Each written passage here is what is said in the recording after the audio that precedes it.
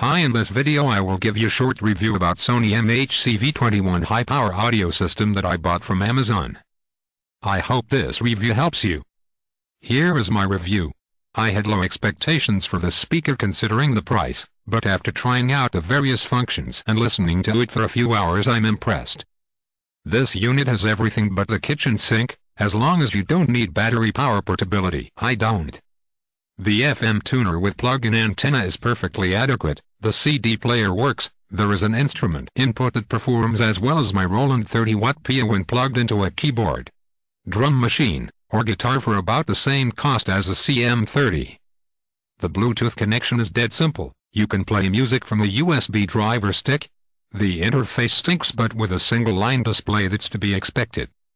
You can link this wirelessly to other Sony music players. Works with my Sony GTX XB90, but not my Toshiba TWIA SC40.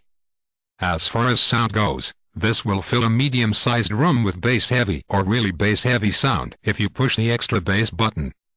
There's even a remote, a goofy party light that seems to flash randomly, and the biggest, most understated volume knob I've ever seen.